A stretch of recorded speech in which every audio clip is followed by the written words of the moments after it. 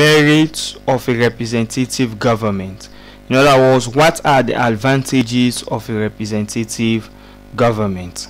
One, there is the existence of the rule of law. The administration is based on respect for the rule of law and obedience to the provisions of the constitutions by the elected political leaders.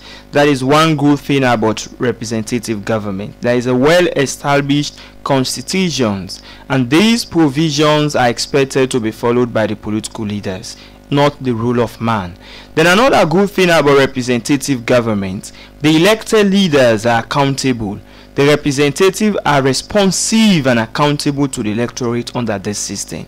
In as much as these people they have a mandate of four or five years, as the case may be, they have to come back to the electorate. So therefore, it made provisions for accountability. Then of course, elections in the yardstick, the government is set up through the normal electoral process.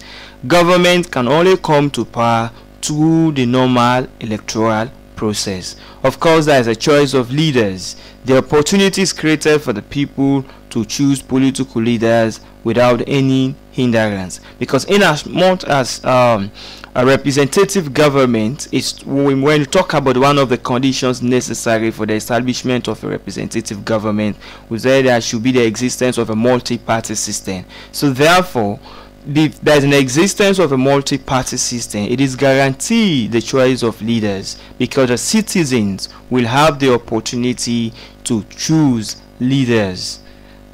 Then of course, we also look at additional benefits of this system. Another benefit of a representative government is that the system is simple to operate. It is easy to identify those responsible for the failure of government. In as much as a representative government, it is easy to identify if the, the honorable members of parliament, if the president is not delivering to promises, they can be easily changed. That's one good thing about representative government. So in other words, you cannot squarely uh, push the blame to others, but there is acceptance of individual failure, either the president or the honorable members, because these people have to come back to the citizens. Then also, it makes for stability. The government in place is legitimate and legally constituted. So in as much as the government comes to power through the popular support or based on the established laws of the land, it can also make provisions for stability. It also allows for the participation of the people. The people are given the opportunity to take part in the decision making of their country. It makes for an enduring democracy. That's another good thing about representative government because at the end of the day the citizens are giving part to in decision making of their country.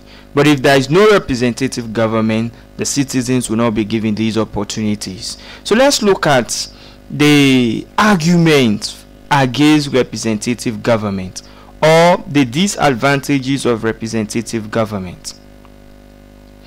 One of the arguments against representative government is that one no true independency of the judiciary. This is because the judiciary may be under the control of the government in power. We've seen that many cases in African countries where the judiciary arms of government is being controlled or influenced by the executive arms of government, especially the president. So that is another argument against representative system of government. Then of course corruptions. It makes for corruption practices among the politicians who may want to come to power at all cost. We've seen many cases when these political leaders or politicians will be bribing the electoral officers for ballot stuffing, uh, falsification of voters registered and all those things. That is also another challenge or another argument against representative government. Of course, you also have rigging of election. This is a big threat to a truly defend representative government. The electorate could be denied a choice made. In as much as elections are supposed to be held by an electoral commission and the citizens have to participate in the decision making process. But in most cases we've seen that even these decisions that are made by the citizens they are not bad. Adhered to we call them stolen mandates because there is every possibility that elections will be rigged by the electoral commissioner. And when that happens the popular decision of the people will not be felt and that means that that is what we call the stolen mandate. So the citizens are at liberty to choose but the decision with regards to who should come to power squarely lies with the electoral commissioner. And if it has to do with rigging this is a big threat to a truly defend demo representative government. Because the electorate could be denied the choice they've already made to choose their own political leaders. Then of course we also look further another argument put forward with regards to representative government or in other words the argument against representative government. One is illiteracy. The inability of some voters to identify party names and symbols may lead to wrong choice of candidates we've seen mostly in african countries there's a huge number of people who could not read and write. And some of them cannot even identify the names of these political leaders that is it can it has a possibility of ending up of choosing the wrong leaders simply because the citizens could not read and write and the inability to identify party names and symbols is a huge problem.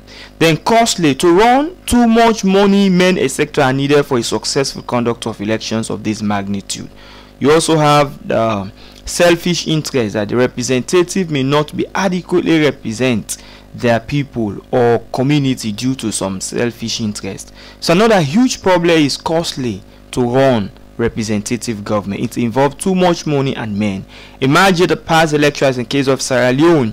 In 2018 alone, we have about 16 registered political parties and that is a huge amount of money. Many people are involved so it's very costly on the part of the state in order to augment or operate a representative government. You also have selfish interests. The representative sometimes may not even tend to represent the interests of the people.